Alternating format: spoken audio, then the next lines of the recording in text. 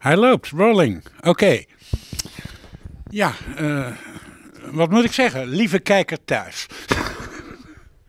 Goed, we zitten hier namens het uh, Burgerpersbureau.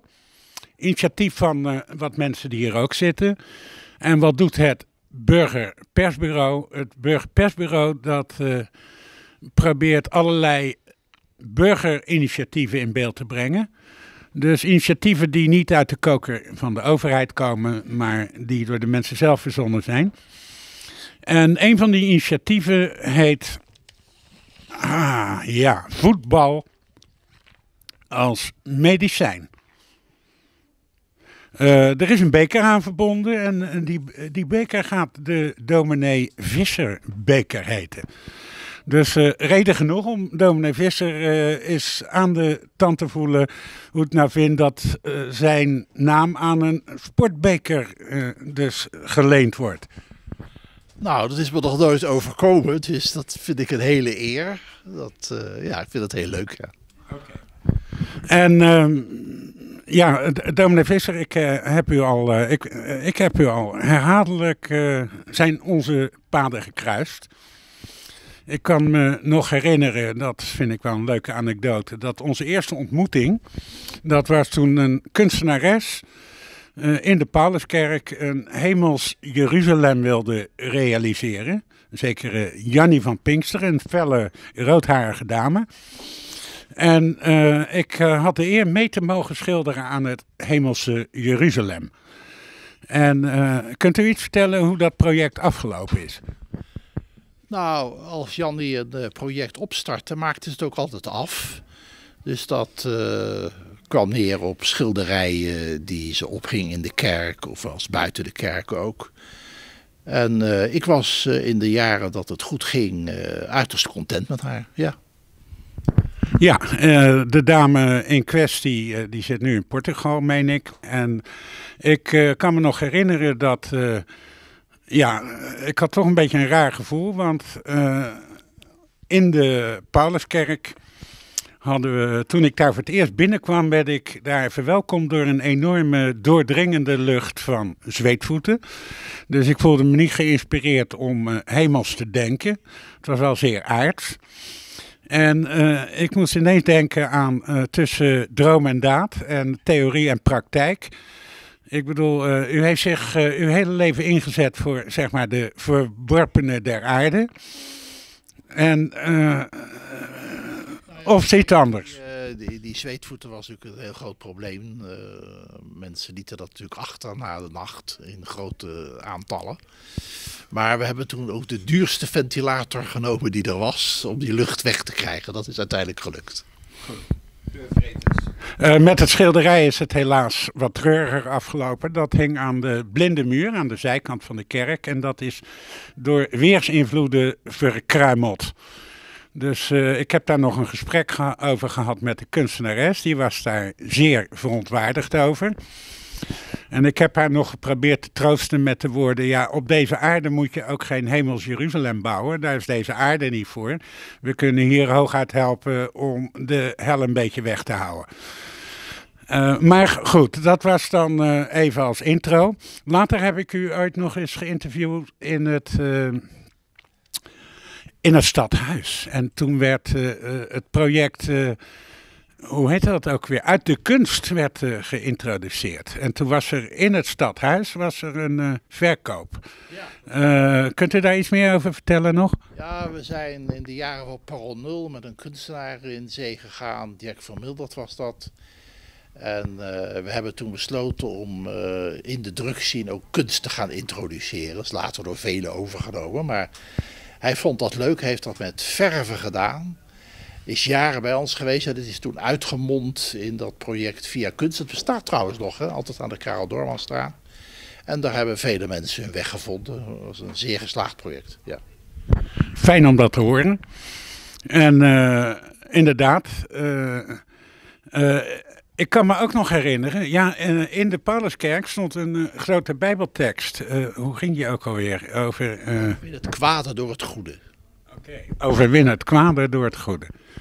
En uh, ondanks alle vreemde wederwaardigheden hier, uh, om het uh, bijbels te zeggen, dit aardse tranendal, geloof je daar nog steeds in? Ja, ik vind dat een goed uitgangspunt om het kwaad in de wereld met goed te bestrijden. Niet dat je het altijd lukt, maar je moet het wel doen. En soms heb je ook wel succes. Ja. Oké. En uh, we zitten hier dus in deze omgeving. Dit is ook de plek waar u uh, nog filosofieles uh, geeft. Heb ik... Eén uurtje in de week bij een as. Dat is dan hier voor de filosofie. Ja, ja, dat doen we al zeven jaar inmiddels, geloof ik. Ja. Dan vind ik toch, zie ik een voor de hand liggende link met ons voetbalproject. Want over het algemeen wordt in Nederland uh, Johan Cruijff als een van de grootste praktijkfilosofen gezien. En uh, kunt, u een paar, uh, kunt u zeggen of, welke regels van Johan u aanspreken? Nou, ik vind. die regels kun je ook goed samenvatten, maar heeft dat uiteindelijk geloof ik 14 hoofdstukjes. Maar het gaat bij voetbal om samenwerking. En ik kan me herinneren uit de tijd dat ik in een clubhuis, ik was zo'n student, uh, voetballes moest geven aan uh, kinderen van 6 tot 12. dat dit ook mijn uitgangspunt was. Hè. Wij gaan niet alleen persoonlijk achter die bal aan, maar die spelen we naar elkaar toe. En iemand die daar net gunstig staat, die kan eens een doelpunt maken. Maar we zijn niet in het veld om alleen maar doelpunten te maken, samenwerken. En dat vind ik een, uh, een krachtig signaal dat Cruijff afgeeft, ja. En uh, binnen uw werk in de Pauluskerk al die jaren zijn er ook nog meer uh, ja, uh, voorbeelden te bedenken van de, samenwerkingen die wel gelukt zijn. Ja, we hebben, we hebben natuurlijk in de Pauluskerk natuurlijk met veel mensen samengewerkt. Een beetje vaak op ad hoc basis, hè, daar waar het nodig was. We hebben natuurlijk altijd in dat tijd heel goed samengewerkt met Nora Storms hè, van de Junkiebond van Topscore. Zolang dat mogelijk was. We hebben natuurlijk ook wel samengewerkt met andere instanties die zich bezig hielden met druggebruikers. Uh, maar ik wil altijd wel de eigen zelfstandigheid bewaren. Ik vind samenwerken prima, maar je moet je niet laten wegvagen of uh, laten wegspelen. Dus uh, nee, uh, nee, je ziet er ook niet uit of u graag buitenspel staat. ja, precies. Ik wil niet buitenspel staan. Ik heb vroeger wel, toen ik voetbalde, veel doelpunten gemaakt buitenspel. Ik begreep nooit hoe dat precies in elkaar zat, maar het kan wel. Goed. dus dan denk ik dat we hiermee een aardig beeld hebben van uh, nog een laatste, misschien kunnen we even toch de man van uh, het voetballen erbij halen.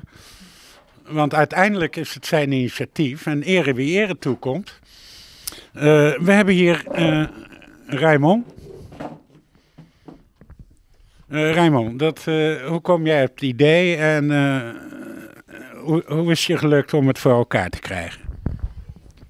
Nou, laat ik beginnen met te zeggen dat ik een van de initiatiefnemers ben vind ik belangrijk, want het is heel duidelijk dat, dit niet, uh, dat je dit niet uh, alleen doet. Uh, heel duidelijk. waar komt het idee vandaan? Ik ben een tijd betrokken geweest bij een belangenbehartigingsorganisatie. Een tijd basisberaad hier in Rotterdam, in de regio. We hadden de week van de psychiatrie. Het ging over pillengebruik. het hele thema van die week was ja, psychische problemen. Mhm. Wat doe je ermee? Praten, pillen, wat is er nog meer? Nou, wat, waar kwam ik op? Waar kwamen we met een paar mensen op op een gegeven moment? Sport, sport als middel. Werkt voor iedereen goed. Daar hoef je geen problemen voor te hebben psychisch. Dus uh, zo kwamen we uiteindelijk, en dat was toen in 2009, tot, tot, een praktisch iets, ja, voetbaltoernooi. Niet alleen mensen uitnodigen met psychische problemen. En dan onderling gaan we onderling voetballen. Nee, proberen uh, mensen die niet per se te maken hebben met, met, met psychische problemen of, of verslavingsproblemen uh, erbij te betrekken. Gastspelers. Blijkt het in de praktijk altijd uh, hard werken om dat voor elkaar te krijgen. Maar dat is het idee van toen. Gewoon in een buurt, niet naar een, niet naar een voetbalcomplex. Um, deelgemeente Dalshaven. En dan ja, daar een echt een dagdurend ding van maken. Iets, iets leuks met de basis voetbal, maar eigenlijk als excuus. je promoot wel sporten, maar het, het is het middel om bij elkaar te komen. En vanuit het bij elkaar komen. En dan zeker ook mensen die buiten de hulpverlening staan en zo is een dagje meedoen. Ja, dat, dat werkt heel goed. En het is erin gebleven, dit idee. We doen het nu. In 2009 heette het nog geen voerdersmedicijn. Dat heette het pas sinds 2010. We doen het nu dus op, voor het vierde jaar op rij. En uh, wie, wie hebben eerder uh, de beker gewonnen? Ja, het eerste. Uh, wacht, ja, ja, ja, ja, ja. In 2009, dat weet ik niet meer. Ik was er zelf niet bij. Ik moet eerlijk zeggen, ik was depressief. En ik voelde me niet goed, was er niet bij. In 2010 kwam er een team uit Utrecht, dat heette Singelzicht. Een jongerenopvang uit Utrecht. In 2011 was het team De Nieuwe Kans. Dat is, dat is een instelling waar jongeren ook breed, breed geholpen worden. Het zit op Zuid hier in Rotterdam. En vorig jaar heeft het team van, uh, van Jobscore gewonnen. Jobscore is een werkproject. Uh, zijn mensen die, die ook een achtergrond hebben, vaak met, met, met verslavingsproblemen, dak- en thuisloos. En ja, die in de stad en in het openbaar vervoer uh, ja, de straat schoonmaken of de, de, het openbaar vervoer schoonhouden. Maar wel onderling gewoon ook een, voetbal, uh, een voetbalteam vormden en, en, en meevoetbalden. En dit jaar, oh ja, als ik helemaal aan het woord ben dan... Dit jaar verwachten we 12 teams. Ja. En volgende week dinsdag, 17 september. Nou, ik hoop dat mensen voor die tijd je woorden kunnen horen op YouTube of waar dan ook. En uh, dat er uh, publiek op afkomt. Uh, in ieder geval kom ik kijken. Ja, Dank voor je ja. heldere woorden. Mag ik nog één ding zeggen? Ja, mag één ding zeggen. Want hoe komen wij bij dominee Visser? Um, de vraag om, om de beker naar u te vernoemen en dat u de prijsuitreiking doet, is, is ook vanuit ons een, een eerbetoon aan, aan u voor wat u gedaan heeft. En ja, bedankt dat u daar aan toe bereid bent om dat te doen. Oké, ik denk dat het verder het verhaal duidelijk is. En uh, voor iedereen die dit ziet, uh, nog één keer de datum en de plek. Ja, dinsdag 17 september op het Lloyd Multiplein. Dat kennen wij als het oude Mullerpier aan de Westzeedijk. Um, 10 uur beginnen we het evenement, 11 uur het toernooi.